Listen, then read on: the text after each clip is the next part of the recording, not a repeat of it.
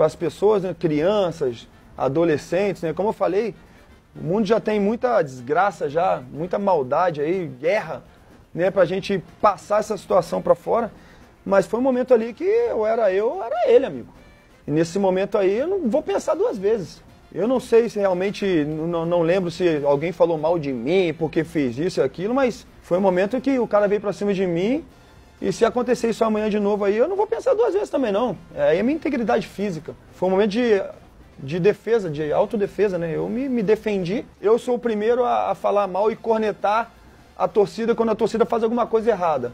Né? E naquela época, naquele, naquele dia ali, não só nós jogadores, mas a torcida do Palmeiras, ela, ela foi muito inteligente e tiveram muito, desculpa a muito culhão para defender os outros, a mancha verde, no caso, que estava lá.